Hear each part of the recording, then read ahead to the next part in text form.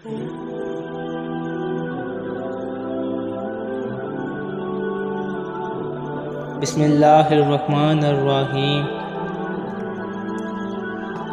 वालेकुम प्यारे दोस्तों, उम्मीद करता हूँ आप सब हैरियत से होंगे। प्यारे नबी की कुछ प्यारी हदीसें पेश करूँगा। आप उसको याद कर लें और दोस्तों को लाजमी शेयर करें। शुक्रिया।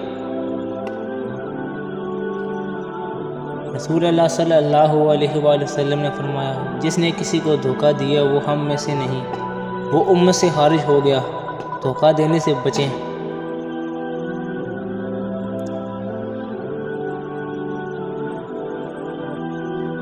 रसूल अल्लाह सल्लल्लाहु वसल्लम ने फरमाया, सबसे बड़ी जाति ये है कि आदमी नाहक किसी को, किसी मुसलमान की बेइज्जती करे।